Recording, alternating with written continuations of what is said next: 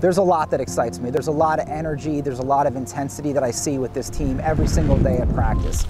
It's really exciting. I, think the word that I've used uh, to, to most people has been surreal. I mean, it really is exciting. I graduated here in 2002, and now here we are, 2022. I'm back 20 years later, um, but really getting a chance to take over this program after playing here, uh, you know, for four years has been a dream come true. And honestly, I've loved every second of it so far, and uh, can't wait to continue to do big things here.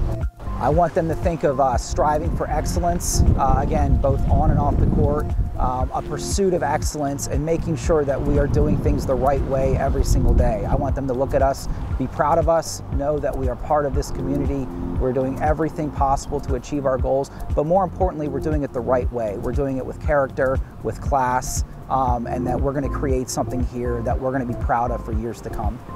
Um, you know, on the court, of course, we're going to try to be as competitive as we can. We're in a very, very uh, competitive Division Three conference. Uh, a lot of good schools in the Centennial. So every year, we're going to look to make strides to get better, and hopefully, in the very near future, compete for a Centennial Tennis Conference championship. Off the court, you know, we're, we're going to be really, really good members of society. We're going to, uh, you know, do great things in the community. In the classroom, we're going to strive to win the ITA Scholar Athlete Award every single year. And we're always going to make sure that we're doing things off the court to complement what we're doing on the court.